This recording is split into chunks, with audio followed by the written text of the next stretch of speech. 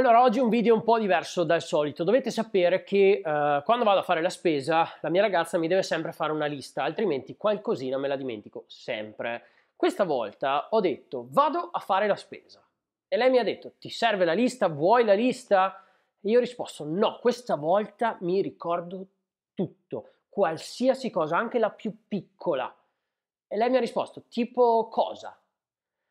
E lì mi è venuto naturale rispondere in inglese don't put me on the spot, no? don't put me on the, on the stop pot, chop pot. E vuol dire, don't put me on the spot, vuol dire non mettermi all'angolo, non mettermi alle strette, non mettermi in difficoltà. Eh, perché in realtà io quella minima cosa me l'ero già dimenticata, ok? Quindi eh, le ho detto, eh, dai, non mettermi in difficoltà, non chiedermi queste cose.